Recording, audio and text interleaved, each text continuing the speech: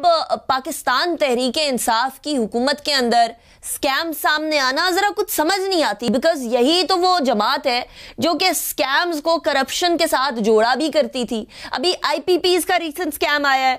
काबीना ने inquiry commission बनाने के अंदर दो महीने की ताखीर कर दी है। इससे पहले वो आ, जो पंजाब गवर्नमेंट ने रेटिफाई कर दी थी पच्चीस एकड़ की ज़मीन जो शहदा और गाजियों की थी वो गवर्नमेंट ऑफिशल्स के नाम पर रेटिफाई कर रहे थे। फिर शुगर और आटा मशहूर ज़माना स्कैंडल हमारे सामने आया। इसके अलावा S N G P L का मामला, राणा साहब स्कैम पे स्कैम बनी जा रहे हैं स्कैम पे स्कैम सामने आ रहे हैं। ये हो क्या रहा है पाकिस्तान तहरीक इंसाफ की हुकूमत में? आई पर्सनली थिंक देखे they are also part of this society और जो इलेक्शंस में जिस तरीके से ये इतने बड़े बड़े नारे लगा रहे थे ना, वो नारे अपनी जगह ठीक है। हर इलेक्शन में होता है। अमेरिका में भी इलेक्शन में आप देख लें इलेक्शन कैंपेन्स में बड़े बड़े नारे लगाए जाते हैं और बड़ी बड़ी टॉल क्लेम्स किए जाते हैं। But when it comes to reality check reality different होती है। जब आप कॉरिडोर ऑफ़ पावर में आके बैठते हैं ना तो फिर आपको पता चलता है किन्ने वी एन एस हो।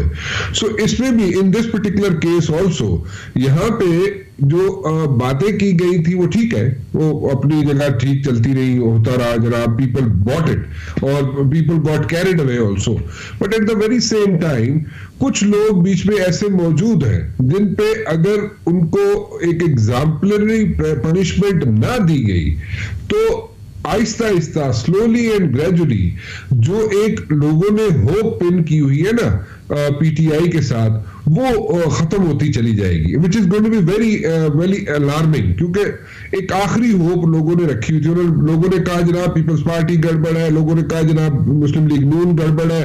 और सब पे इल्ज़ाम लगते रहे लोगों ने कहा हाँ जी बिल्कुल ठीक है बिल्कुल सही कहते हैं। पीटीआई वाले सही ने सारे।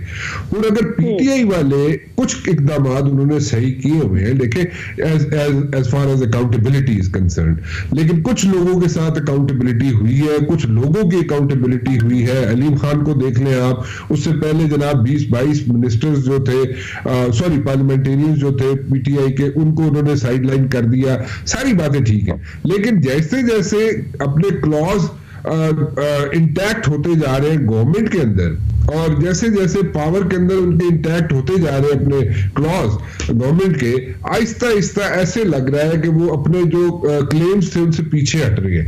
जब तक नई एग्जाम्पलरी पनिशमेंट देंगे यहाँ पे इश्यूज़ हैं। एक नहीं आपने तो तीन चार गिनाए इससे भी ज़्यादा इश्यूज़ है स्कैम्स हैं।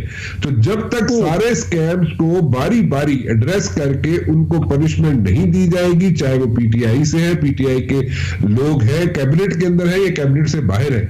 We don't care about that हमें लोगों की होप्स जो है वो डिमिनिश नहीं होनी चाहिए वो वो खराब नहीं होनी चाहिए वो खत्म नहीं होनी चाहिए पीटीआई से। अगर वो खत्म हो गई गई तो वो सब लोग कहेंगे कि सारे एक को जेने सबका एक ही मसला सबका एक ही प्रॉब्लम वो वो उम्मीद जो बांधी है लोगों ने पाकिस्तान तहरीक इंसाफ से वो टूट जाएगी।